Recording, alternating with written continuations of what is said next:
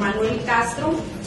Eh, por ahí si recordarán del tema, eh, una servidora se sumó al punto de acuerdo con el senador y de hecho hay en esta comisión una iniciativa que presentamos sobre el mismo punto y es que Baja California Sur, que es uno de los estados más eh, con menos agua, más desérticos del país, su única fuente de abastecimiento de las, de las zonas hídricas es la Sierra de la Laguna.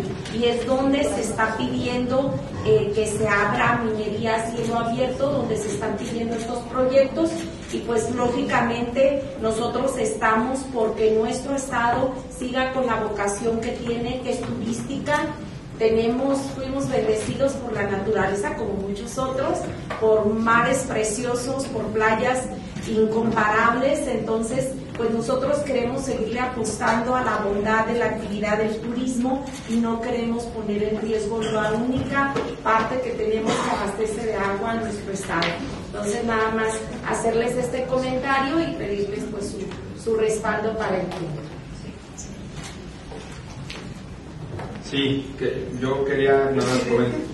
Sí, me permites antes de, de que este, tomen la palabra.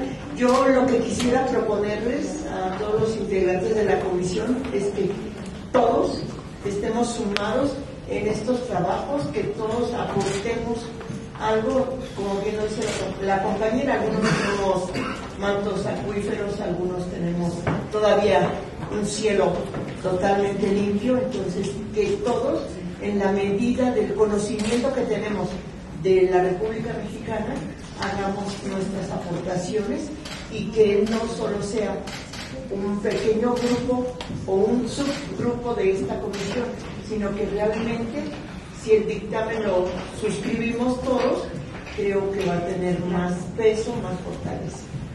Sería mi petición. Le damos el uso de la palabra a la senadora.